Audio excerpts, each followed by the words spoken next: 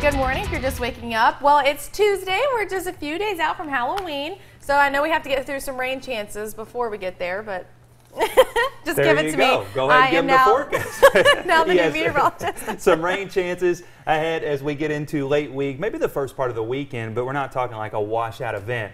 And then temperatures remaining on the pleasant side. And I tell you what, Halloween forecast is looking pretty good. So we'll talk about that here in just a couple minutes. But let's take you back to yesterday. What a beautiful fall day it was. Some of the photos I got sent in on my WYMT Facebook page. Uh, Crystal from Pike County. Nice uh, sunshot here. You can see blue skies. We had lots of it and lots of sunshine to go along with those pleasant conditions yesterday afternoon. And then as we get into the evening hours, I could just sit back and enjoy this view for hours. Obviously, it wouldn't last that long, but I tell you what, a nice shot there from Mary over in Pike County. And then another view showing more of the same. And you talk about just a beautiful evening out there, and I hope you're able to get out and enjoy it. And I have some good news. If you enjoyed yesterday, well, today will be very similar. We're starting out nice and dry, a little on the cold side, but that's okay because temperatures warming back up. Pinpoint Doppler this morning, no rainfall to speak of. That's because high pressure spinning just to our north and northwest, giving us those winds more from the north and northeast. That's pulling in some chillier air.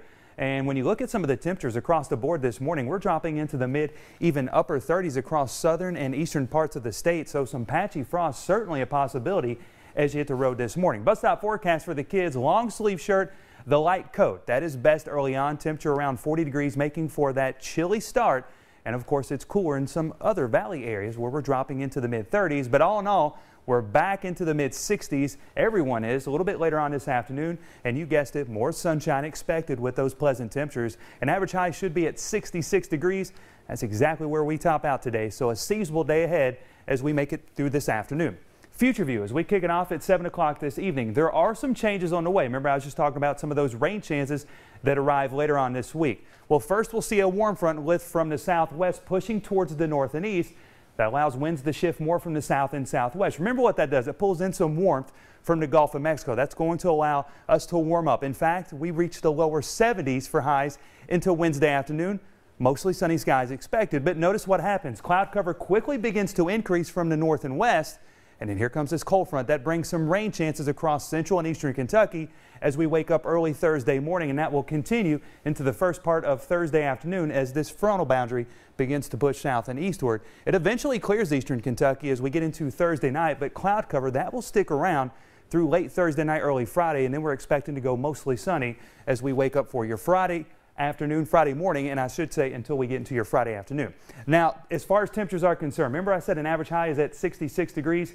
Well, we are above that as we make it through the next five days, but overall, talk about just a nice stretch of weather. We'll have to deal with a few rain chances along the way, but it's nothing too crazy, nothing washout uh, level like I was talking about. So that's the good news. The next chance for rain, perhaps Saturday, maybe just a stray shower. Most of us stay dry, temperatures around 70 degrees. And look at that Halloween forecast. Mostly sunny skies expected, temperatures topping out around 70 degrees. That will make for a perfect evening to do some trick or treating. Let's get a check of the refrigerator art this morning. See what we have behind the magnets. Love showcasing all the wonderful artwork from the kids here across Eastern Kentucky. Nice photo sent in from Ava over at Osborne Elementary. All right, Osborne Elementary. All right, it's time now for